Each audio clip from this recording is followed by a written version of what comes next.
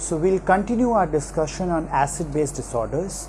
So far we have discussed about the respiratory acidosis. Today we'll talk about the respiratory alkalosis.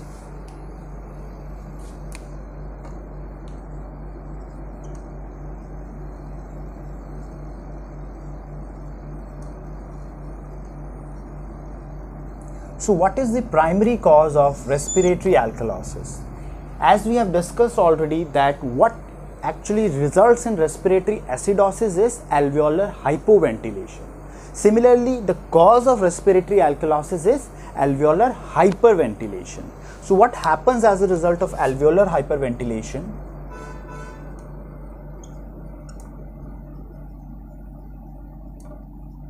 So as a result of alveolar hyperventilation, there is washout of carbon dioxide from the body. So there is washout of carbon dioxide. And the excretion of carbon dioxide from lungs excretion of carbon dioxide from lungs it exceeds the metabolic production of carbon dioxide by tissues.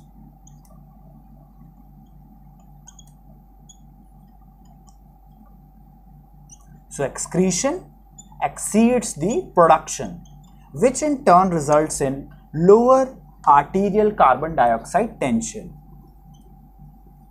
and thus decrease in pH.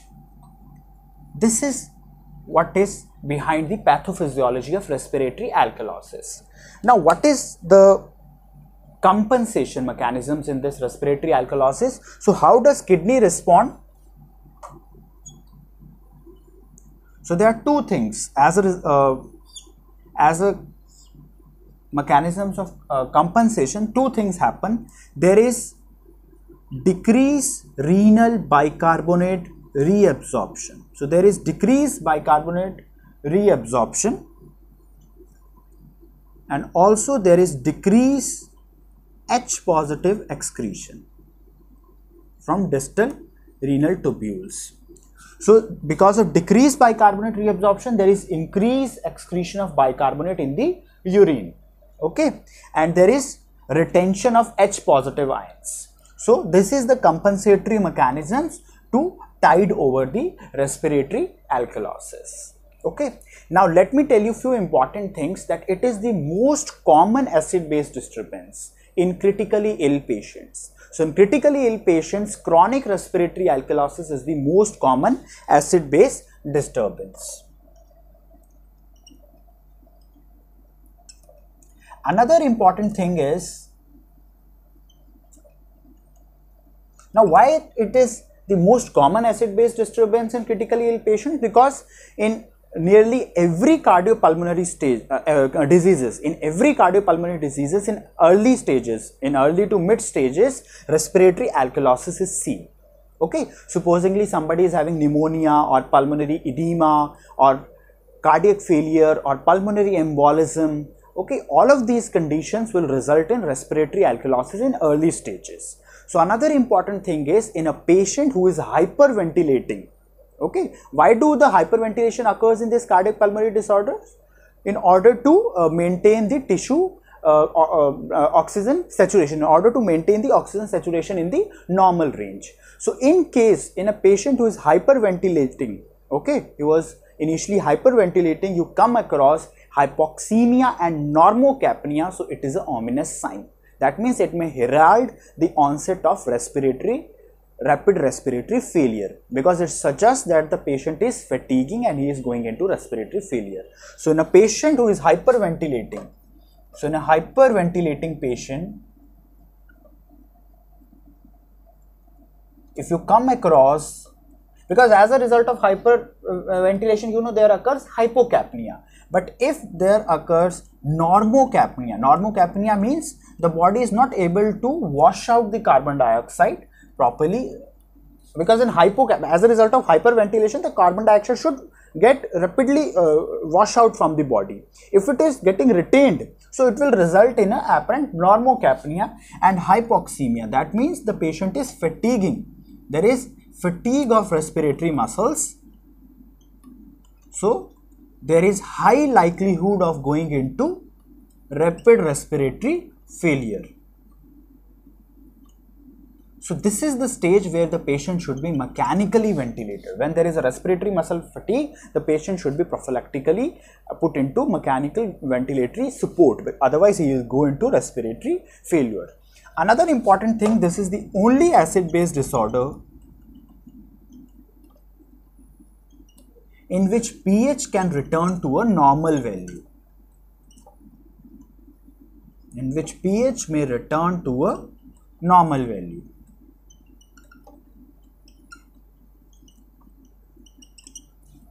Otherwise, in all other acid-base disorders, the pH tends to go towards the normal value, but it never reaches normal. But this is the only acid-base disorder in which it can reach to a normal value. Okay, it in other disorder it is towards normal. It is not exactly normal. Okay, so this is about few important things about the uh, respiratory alkalosis. I have already told you about the compensation. Compensation mechanisms I have told you there is decreased titrable, titrable acid excretion by the kidneys and there is decreased filtered bicarbonate reabsorption. Okay. Now compensate uh, the, now the predicted compensatory response you know how to calculate that in acute respiratory alkalosis for every 1 mm Hg decrease in PaCO2 there is 0.2 mm Hg decrease in bicarbonate. That means for every 10 mm decrease in PCO2, there is 2 mm decrease in bicarbonate. And in chronic respiratory alkalosis, for every 10 mm decrease, there is 4 degree decrease in, uh, uh, there is 4 uh, millimole of per liter decrease in bicarbonate okay. So uh, we have already discussed that equations. Okay. Now another important thing is as a result of compensation bicarbonate will never fall below 12 millimoles per liter. As we have discussed in respiratory acidosis that in a patient who is uh, having uh, respiratory acidosis increase in PCO2 so bicarbonate will increase as a compensation but it will never go beyond 38 if it does that means you are dealing with a mixed acid base disorder. Similarly in a patient of respiratory alkalosis in which there is decrease in PaCO2 so as a compensation bicarbonate will decrease but will it will never fall below 12 if it falls below 12 that means there is concomitant another acid base disorder. Okay? So another important thing is as a compensation bicarbonate never falls below 12 millimoles per liter. So these are few of the salient features. Okay. Now we'll discuss about the causes. First of all, let me talk about the clinical features here. So what are the clinical features? Carbon dioxide is basically a cerebral vasodilator. So because of a rapid decline in PaCO2, there is decrease in cerebellar blood flow. Uh, sorry, cerebral blood flow. Okay. I've told you carbon dioxide is a cerebral vasodilator. So because of a rapid decline in PaCO2, there is decrease in cerebral blood flow. So as a result of that decrease in cerebral blood flow, there is mental confusion, there is dizziness and seizures can also occur. And there is risk of arrhythmias in patients with pre-existing heart disease.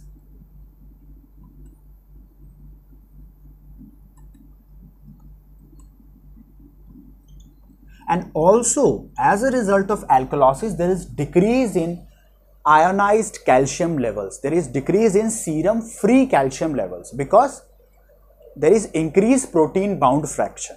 So there is an important concept that acidosis favor ionization of calcium whereas alkalosis favor deionization of calcium. That means there is increase in protein bound fraction in case of alkalosis. So the free calcium which is ionized form that is decreased. Okay the total calcium does not is not affected by alkalosis or acidosis. There is a shift in ionized and deionized form. In acidosis the ionized form which is the active form increases and in alkalosis the ionized which is the active form decreases. So that uh, so there is hypocalcemia. So the, apart from that patient can also have symptoms of hypocalcemia like tetany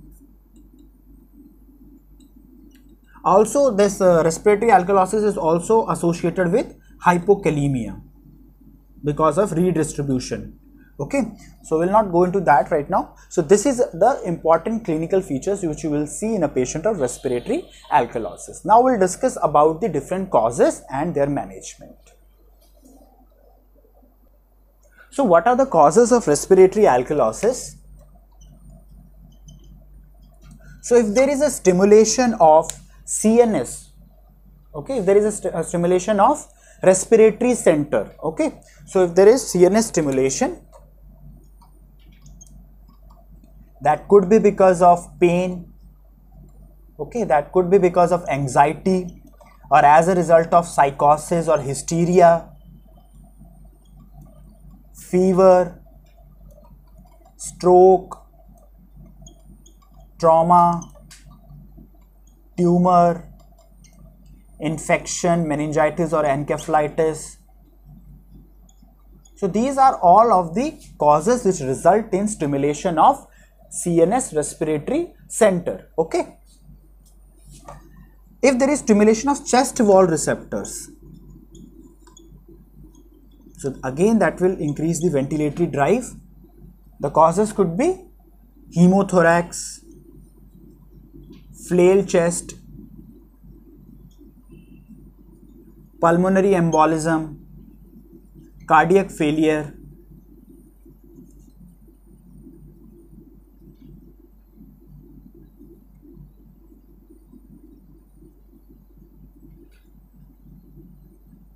Okay. Another important cause is if there is tissue hypoxia, hypoxemia or tissue hypoxia. So they will increase the ventilatory drive in order to ensure adequate tissue oxygen levels. Okay. Now what all conditions can result in tissue hypoxia? High altitude. High altitude, pneumonia, pulmonary edema because it will decrease the it will cause VQ mismatch pulmonary edema okay. Apart from that my pen is not working so I'll write with another pen. High altitude pneumonia pulmonary edema aspiration or if there is severe anemia. Okay. Another condition apart from hypoxemia or tissue hypoxia some drugs can also directly stimulates the medullary chemoreceptors or respiratory center. Like we have salicylates. It's very important salicylate. So in a patient who is having who has taken overdose of aspirin so you will come across respiratory alkalosis. Apart from this, you will have high anion gap metabolic acidosis. So usually there is a combination of respiratory alkalosis and high anion gap metabolic acidosis. A very important clue. Salicylates. Apart from that, progesterone.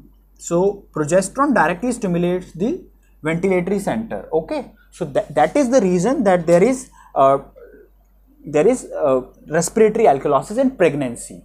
So because of this progesterone. Apart from that, methyl xanthines can also result in uh, can directly stimulate the ventilatory center and can also result in this respiratory alkalosis. Another uh, causes, important causes are sepsis. In sepsis also there is in, uh, tachypnea, there is increased uh, ventilation, alveolar hyperventilation. Hepatic failure is a very important cause. Rather, the severity of respiratory alkalosis is directly proportional to the degree of hepatic insufficiency. So in hepatic failure also you will come across respiratory alkalosis. Apart from that mechanically ventilated patients, so you know patients who in ventilatory support it is very common okay so the treatment is very simple in, in a patient where respiratory alkalosis complicates ventilator management what you have to do decrease the respiratory rate or decrease the tidal volume or decrease the dead space okay? So that will result in resolution of this respiratory alkalosis. So it is very common in mechanically ventilated patients. If you have uh, if the respiratory rate is higher or if the, the tidal volume is higher so the respiratory alkalosis will ensue okay? So ventilate mechanical ventilated patients sepsis hepatic failure pulmonary embolism also i've discussed cardiac failure. Apart from that hyperthyroidism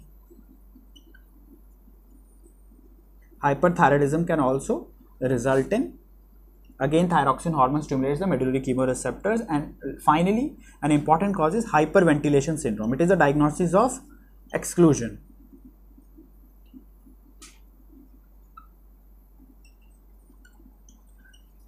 So in a hyperventilation syndrome, patient will complain of paresthesia, circumoral numbness, there is difficulty to take a breath, okay, the patient will be having dizziness, there is chest tightness. And on investigations, you will find there is hypocapnia, there is respiratory alkalosis, but there is no hypoxemia, okay, mind you there is no hypoxemia, there is only hypocapnia and respiratory alkalosis. So in hyperventilation syndrome, simply you have you have, what is the treatment? You have to reassure the patient. Apart from that you can if required rebreathing through a paper bag will help. Okay? In all the other causes what is the treatment? You have to manage the underlying cause okay if the hyperthyroidism is the cause you have to treat it. Similarly pulmonary embolism cardiac failure so you have to treat the underlying cause. So this is all about the respiratory alkalosis. Now we will move on to discuss about the metabolic alkalosis. So now we'll talk about the metabolic alkalosis. So as you all know, metabolic alkalosis is characterized by alkalosis means increase in pH and metabolic means related to bicarbonate. So if there is increase in pH and increase in bicarbonate that is called as metabolic alkalosis. So how will the compensation occur? So as a result of this metabolic alkalosis, there is alveolar hypoventilation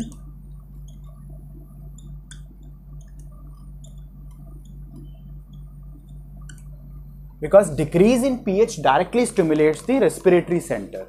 So if there is increase in pH that will depress the respiratory center. So there is alveolar hypoventilation which in turn results in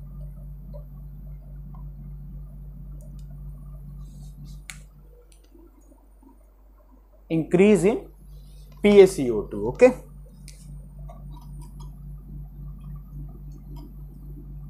so this is about the compensation but what is important that what is the pathogenesis of metabolic alkalosis? How does it result? Okay so there are two stages in uh, pathogenesis. One is generation stage another is maintenance stage. So first is generation stage. So in generation state, the metabolic alkalosis res results because of either gain of alkali or loss of acid from the body. Gain of alkali means gain of bicarbonate. Supposingly you are supplementing soda bicarbonate for the correction of lactic, lactic acidosis or diabetic ketoacidosis. So that can result in rebound alkalosis. Okay. So bicarbonate. So if you are supplementing, supposing you are supplementing uh, uh, you are supplementing soda bicarbonate in excess in patients of CKD. So that can result in metabolic alkalosis or citrate. So if there is multiple blood transfusions. So you know uh, uh, in uh, blood transfusion citrate is used as an anticoagulant. Again it is an uh, it can result in alkalosis. Okay, it will convert into bicarbonate. So because of the loss of acid. So loss of acid like in vomiting. So as a result of vomiting HCl is lost from the body or there is nasogastric suction or diuretics. So as a result of diuretics, supposedly you are giving loop diuretic, so it acts on uh, sodium potassium 2Cl co-transporter in the thick ascending limb. And thiazide diuretics they act on sodium chloride transporter in the uh, distal convoluted tubule. So in each case there is increased delivery of sodium to the distal tubules and this sodium is exchange uh, uh, this sodium is reabsorbed in exchange for H positive and potassium ions okay. So there is loss of H positive ions which result in alkalosis and usually patient of metabolic alkalosis they are associated with hypokalemia and hypochloremia that we will discuss further also. Now this is about the generation stage that uh, how does the metabolic alkalosis starts? It starts with either gain of alkali or loss of acid from the body. And how it is maintained? That way that is maintenance stage. So how it is maintained?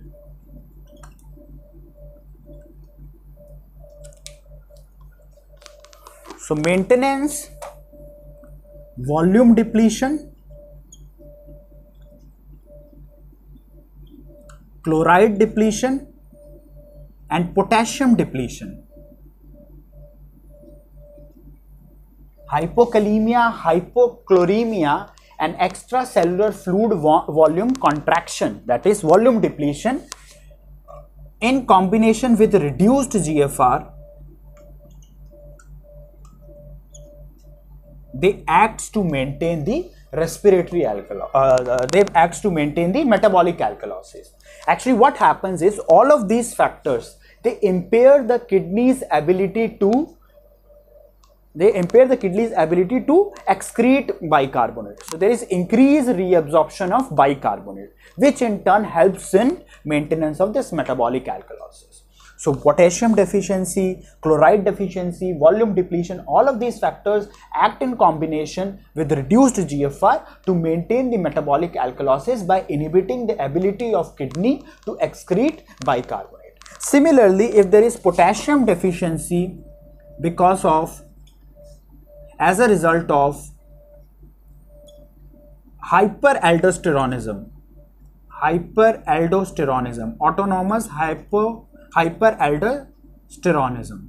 So that can again result in maintenance of metabolic alkalosis because again it results in impaired kidneys ability to excrete bicarbonate okay so how does the maintenance occur decrease kidney ability to excrete bicarbonate. Now what are the factors which can result in this?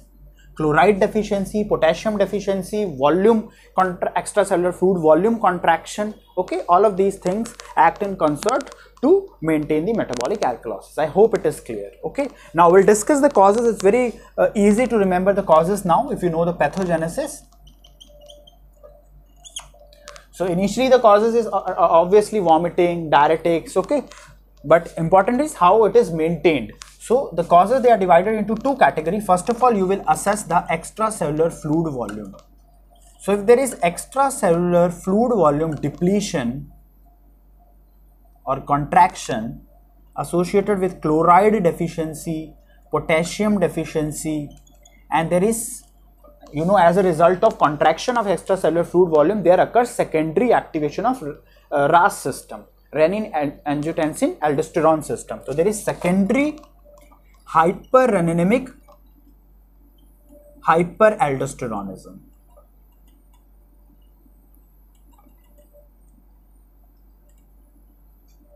So what are the conditions which can result in this? Diuretics.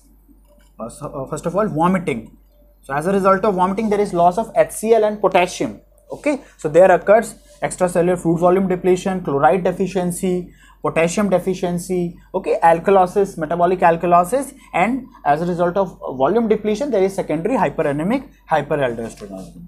Similarly, nasogastric suction, and uncommonly patient can have chloride secreting diarrhea which is called as chloride cloduria okay congenital cloduria or there is a villous adenoma which secretes chloride ions okay. So these are the uncommon causes. Apart from that diuretics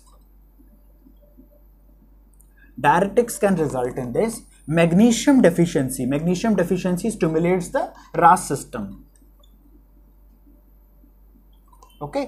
Potassium depletion in itself uh, as an isolated cause can result in this metabolic alkalosis that I'll discuss.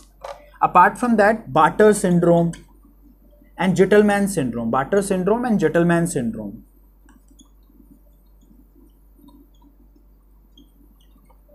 Now, Bartter, you know, there is loss of function mutation in sodium to uh, sodium potassium to chloride uh, co-transporter in the thick ascending limb of loop of Henle. Okay, so there is loss of sodium, potassium and chloride ions. Similarly, in Gitelman, there is loss of function mutation in the uh, NaCl co-transporter in the distal convoluted tubule. So, Bartter is like loop diuretics, okay.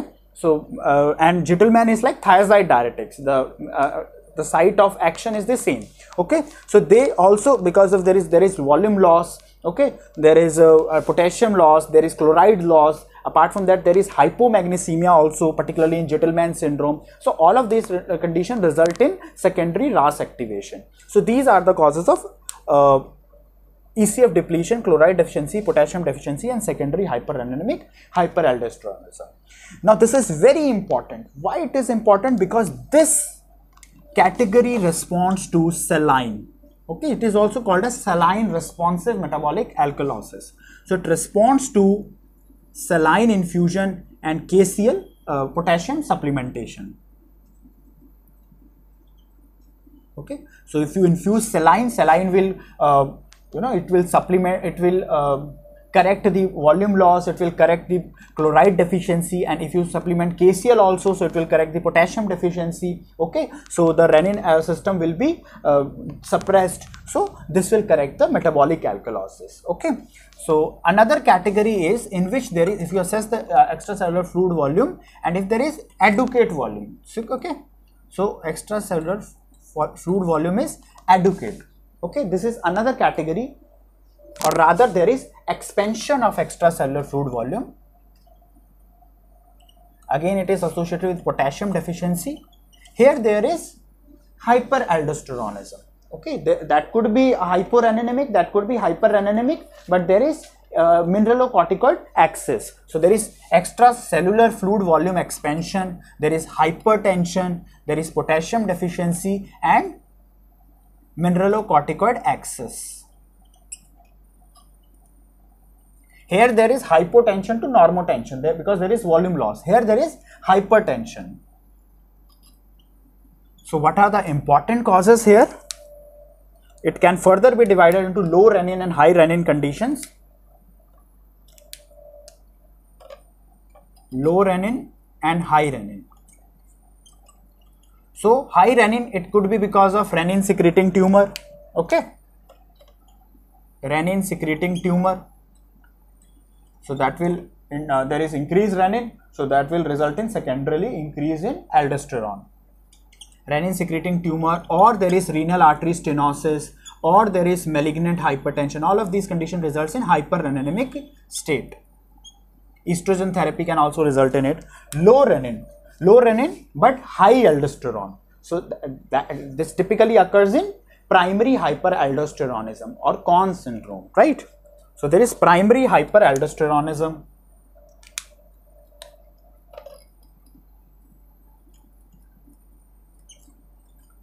Or there is Cushing syndrome. Because if there is too much of cortisol, so it, it will have some mineralocorticoid action also.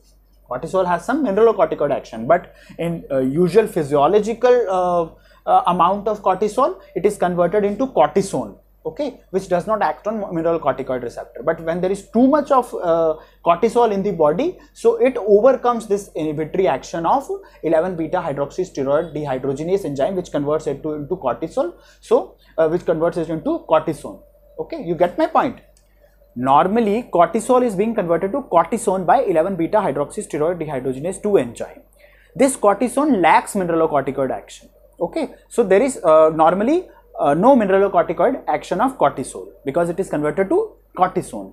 But if there is too much of cortisol in the body, so it overcomes the inhibitory action of this enzyme. So this cortisol will act on the mineralocorticoid uh, receptors and result in hyperaldosteronism. Uh, okay. So Cushing syndrome. Similarly, licorice. Licorice inhibits this enzyme, uh, this uh, 11 beta hydroxysteroid dehydrogenase enzyme, so resulting in syndrome of apparent mineralocorticoid excess, which is called as SAME. SAME. Okay.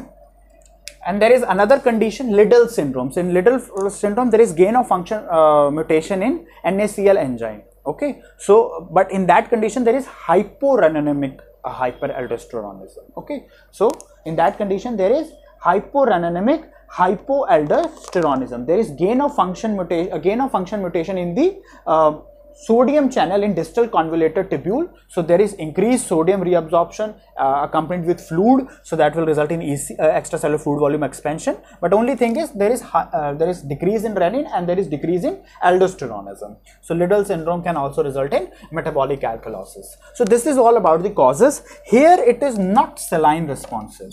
Saline unresponsive. Here you have to correct the underlying cause with pharmacological or surgical intervention. You have to correct the hyperaldosteronic state with the pharmacological or surgical intervention.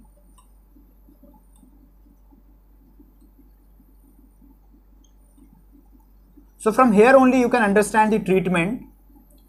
First of all, if the patient is in the generation state for uh, vomiting, you can give the PPIs. If the diuretics are the cause, you can discontinue the diuretics. And in order to uh, control the maintenance stage, what you have to do, if there is extracellular fluid volume depletion, this is the key word. If this, if there is extracellular fluid volume depletion associated with metabolic alkalosis, you have to give isotonic saline. That is recommended treatment. Okay, apart from that, you can supplement the potassium if there is potassium deficiency. And if it is expanded, if there is hypertension, then likely you have to evaluate for the uh, renin levels, aldosterone levels, and if primary hyperaldosteronism is the cause or Cushing syndrome is the cause, you have to treat accordingly, right? So this is about it. Now uh, we'll discuss that uh, one important thing I want to tell you here that how does potassium deficiency result in this because potassium it upregulates the potash uh, uh K positive H positive ATPase enzyme. So in hypokalemia there is increased potassium reabsorption in exchange for H positive ions. So potassium is reabsorbed, H positive is excreted in exchange. So H positive is excreted in urine, so there is alkalosis. Okay. Apart from that, potassium uh, if you look at a cell, so potassium in a in condition of hypokalemia, potassium inside the cell will come outside and to maintain the electrical neutrality, H positive ions will go inside the cell. So again resulting in alkalosis. And third mechanism is potassium, it stimulates ammoniagenesis in the kidney. So because of increased ammonia formation, that, that, that ammonia will bind with H positive ions and NH4 as a positive ion will be excreted in the urine. So more of H positive is lost along with the ammonia. Okay, so these are three mechanism uh, through which H uh, uh, potassium deficiency in isolation can result in metabolic alkalosis. So it's very important to treat the potassium deficiency in order to treat the metabolic alkalosis. I hope it is clear. Okay, now we'll discuss about the uh, what is the clinical features of this uh, metabolic alkalosis. So very simple. In metabolic alkalosis, clinical features are basically due to hypocalcemia because I've told you alkalosis they favor the deionization of calcium. They increase the protein bound fraction. So the free uh, ionized calcium levels are low in the serum. So symptoms are of hypocalcemia like patient are having confusion, obtundation, there is seizures, there is tetany, there is paresthesias. Okay. Apart from that muscle cramps will be there seizures can be there, arrhythmias can be there. So these are the clinical features. The clinical features are essentially of hypocalcemia. So this is all about the metabolic alkalosis. If you have any doubt, you can ask me in the comment section. In our subsequent lecture, we'll discuss about the metabolic acidosis, anion gap and renal tubular acidosis. Thank you very much.